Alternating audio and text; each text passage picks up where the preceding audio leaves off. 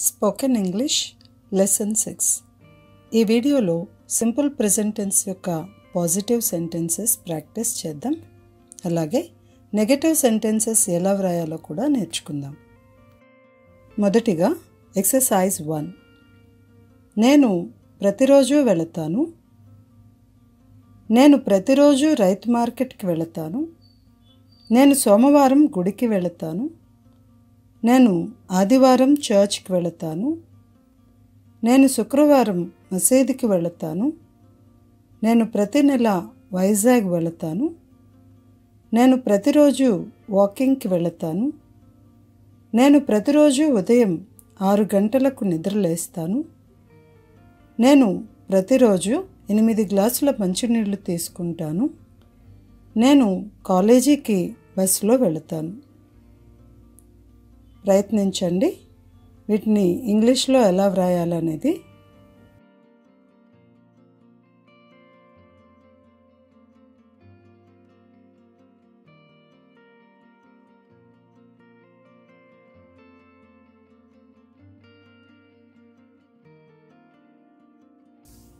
Answers చూద్దాము.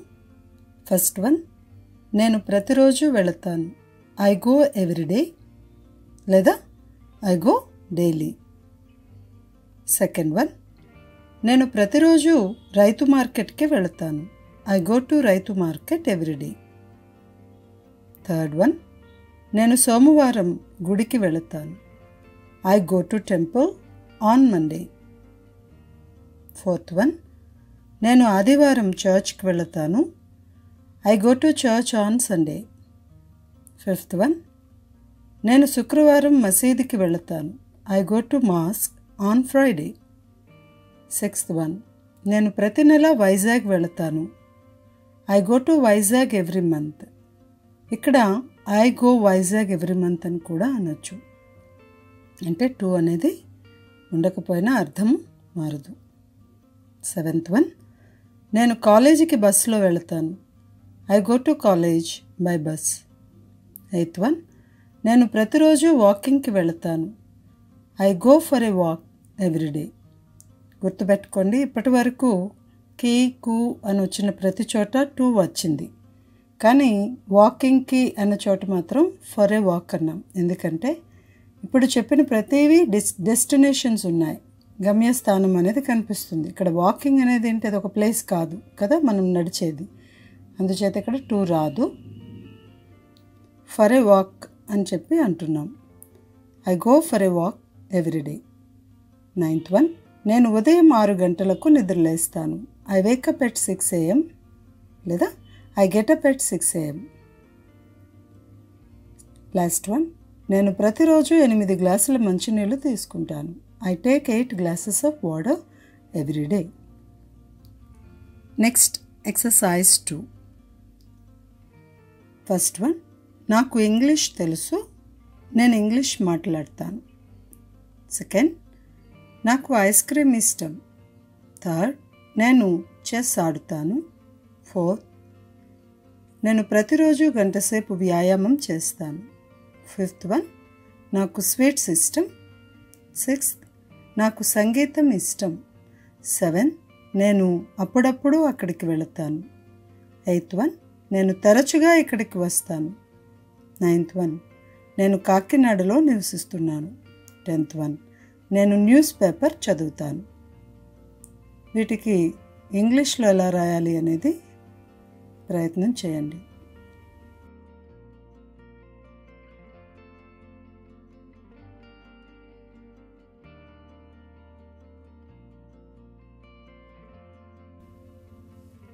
Answers చూద్దాము. First one. నాకు ఇంగ్లీష్ తెలుసు. నేను ఇంగ్లీష్ మాట్లాడతాను. I know English or I speak English second one నాకు ఐస్ క్రీమ్ ఇష్టం. I like ice cream third one నేను చెస్ ఆడుతాను. I play chess fourth one నేను ప్రతిరోజు గంటసేపు వ్యాయామం చేస్తాను.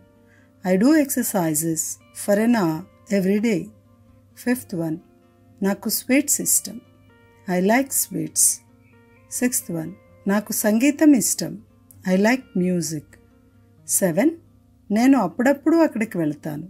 ఐ సమ్టైమ్స్ గో దేర్ గమనించండి సబ్జెక్ట్ తర్వాత సమ్ టైమ్స్ ఆఫెన్ రెగ్యులర్లీ ఇలాంటి పదాలను గుర్తుపెట్టుకున్నాం కదా అవి సబ్జెక్ట్ తర్వాతనే రావాలి.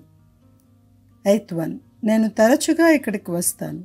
I often come here ninth one నేను కాకినాడలో నివసిస్తున్నాను. I live in Kakinada. Ninth one గమనించండి. లివింగ్ అని అనట్లేదు లివ్ అంటున్నాం. ఇది నిత్యము జరిగే పనుల క్రింద వస్తుంది కనుక సింపుల్ ప్రెజెంటెన్స్లోనే చెప్పాలి. నేను న్యూస్ పేపర్ చదువుతాను. I read news paper. Next exercise three. First one అతను స్కూల్కి నడిచి వెళతాడు. సెకండ్ ఆమె బాగా పాడుతుంది. థర్డ్ హిమ నాన్సీ స్ట్రీట్లో నివసిస్తుంది. ఫోర్ ఆమెకి చాక్లెట్స్ ఇష్టం ఫైవ్ అతను కాఫీ తీసుకుంటాడు. సిక్స్ ఆమె నాట్యం బాగా చేస్తుంది. సెవెన్ రోషన్ క్రికెట్ ఆడతాడు. ఎయిట్ అతను ప్రతిరోజు పాలు త్రాగుతాడు. నైన్ సరిత ఫాదర్ ప్రతిరోజు జిమ్కి వెళతారు. టెన్ మా అబ్బాయి అమెరికాలో నివసిస్తున్నాడు. ఆన్సర్స్ ప్రయత్నం చేయండి.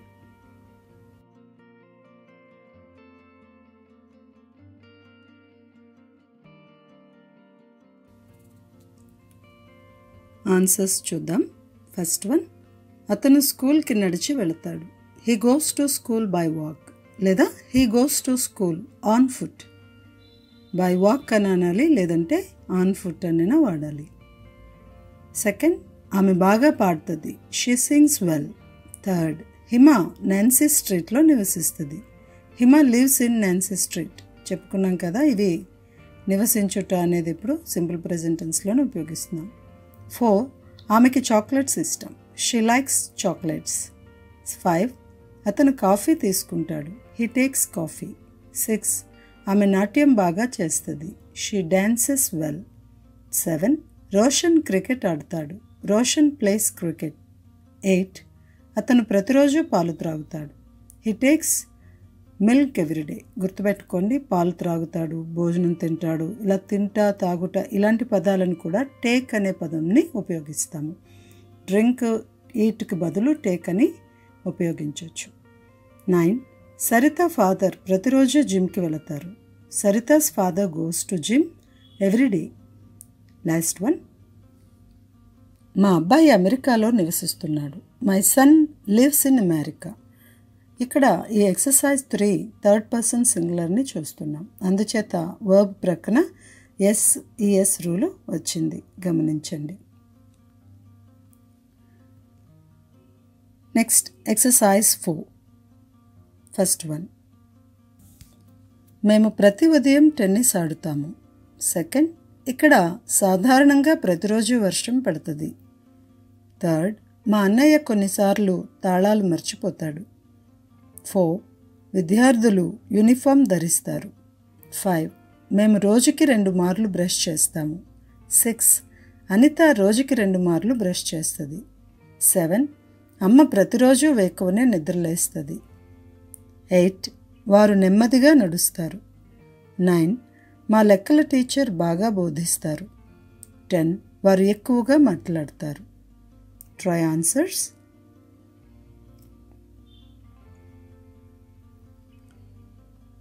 ఆన్సర్స్ చూద్దాం. Let us see answers first one మేము ప్రతి ఉదయం tennis ఆడుతాము. We play tennis every morning second ఇక్కడ సాధారణంగా ప్రతిరోజు వర్షం పడుతుంది. It usually rains everyday here third మా అన్నయ్య కొన్నిసార్లు తన తాళాలు మర్చిపోతాడు. My brother sometimes forgets his keys four Revanth సాధారణంగా ఏడు గంటలకు మేల్కొంటాడు. Revanth usually gets up at seven o'clock fifth మేము రోజుకి రెండు మార్లు బ్రష్ చేస్తాము. We brush twice a day sixth Anita రోజుకి రెండు మార్లు బ్రష్ చేస్తుంది. Anita brushes twice a day seven అమ్మ ప్రతిరోజు వేకువనే నిద్రలేస్తుంది mother gets up early everyday eight వారు నెమ్మదిగా నడుస్తారు. దే వాక్ స్లోలీ నైన్ మా లెక్కల టీచర్ బాగా బోధిస్తారు. My maths teacher teaches well last one వారు ఎక్కువగా మాట్లాడతారు. దే టాక్ టూ మచ్ ఇప్పటి వరకు సింపుల్ ప్రజెంటెన్స్లో పాజిటివ్ సెంటెన్సెస్ ఎలా మాట్లాడాలో లేదా ఎలా వ్రాయాలో చూసాం కదా? ఇప్పుడు నెగటివ్ సెంటెన్సెస్ ఎలా వ్రాయాలో చూద్దాం. ఒక వాక్యం ఫలానా కాలంలోనిది అని చెప్పాలంటే ఆ వాక్యంలో ఉన్న హెల్పింగ్ వర్బ్ అలాగే వర్బ్ని బట్టి చెప్తాం. సింపుల్ ప్రెజెంటెన్స్లో హెల్పింగ్ వర్బ్స్ డూ డస్ అని మనకు తెలుసు కదా. హెల్పింగ్ వర్బ్స్కి నాట్ చేర్చితే అవి నెగటివ్ సెంటెన్సెస్ అవుతాయి. ఇక్కడ గమనించండి. డూకి not చేర్చితే do not short form don't అలాగే డస్కి నాట్ చేర్చితే డస్ నాట్ లేదా డజంట్ డోంట్ అనేది డు నాట్కి షార్ట్ ఫామ్ అయితే డజంట్ అనేది డజ్ నాట్కి షార్ట్ ఫామ్ వాక్యాలు గమనిద్దాం. I don't go to market నేను మార్కెట్కి వెళ్ళను. We don't go to market మేము మార్కెట్కి వెళ్ళము. You don't go to market మీరు మార్కెట్కి వెళ్ళకండి. They don't go to market వారు మార్కెట్కి వెళ్ళరు. He doesn't go to market అతను మార్కెట్కి వెళ్ళడు. She doesn't go to market ఆమె మార్కెట్కి వెళ్ళదు. It doesn't go to market అది మార్కెట్కి వెళ్ళదు. ఇప్పుడు పాజిటివ్ అండ్ నెగిటివ్ వాక్యాలు ఒకేసారి చూద్దాం. I go I don't go we go we don't go you go you don't go they go they don't go he goes he doesn't go she goes she doesn't go it goes it doesn't go Tinku goes Tinku doesn't go Chotu and Chintu go Chotu and Chintu don't go student goes student doesn't go students go students don't go. అలాగే ఈసారి go అనే వర్బ్కి బదులు want అనే వర్బ్ని ఉపయోగిద్దాం. Want అంటే కావాలి అనే అర్థం. వాక్యాలు చూద్దాం. I want I don't want We want, we don't want. You want, you don't want. They want, they don't want. He wants, he doesn't want.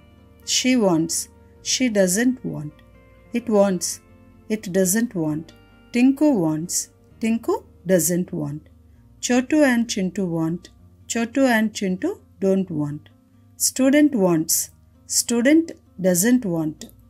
Students want, students don't want. ఈ వీడియోలో positive and negative వాక్యాల గురించి బాగా తెలుసుకున్నాం కదా?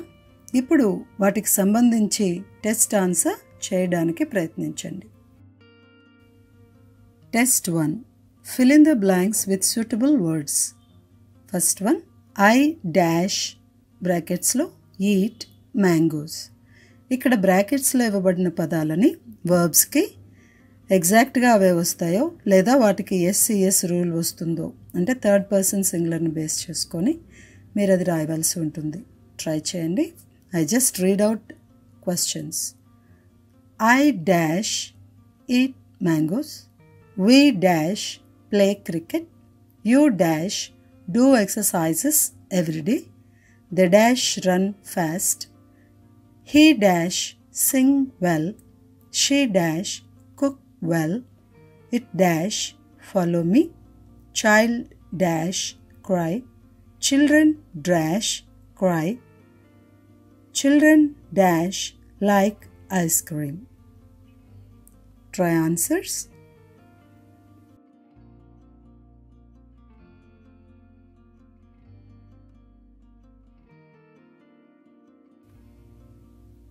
answers చూద్దాం first one I eat mangoes second we play cricket third you do exercises every day four they run fast five he sings well గమనించండి. He third person singular కనుక సింగ్కి yes add అయింది. Six she cooks well seven it follows me eight child cries గమనించండి child singular కదా third person singular కనుక. అక్కడ verb ప్రక్కన SES rule ఉంది. ఇక్కడ క్రై కాబట్టి క్రైస్ అయింది. Children plural word okay ninth one children cry tenth one children like ice cream next test two fill in the blanks with suitable helping verbs don't, doesn't. First one I dash eat mangoes. Second, we dash play cricket. Third, you dash do exercises every day. Four, they dash run fast. Five, he dash sing well. Six, she dash cook well. Seven, it dash follow me. Eight, child dash cry. Nine, children dash cry 10 children dash like ice cream try answers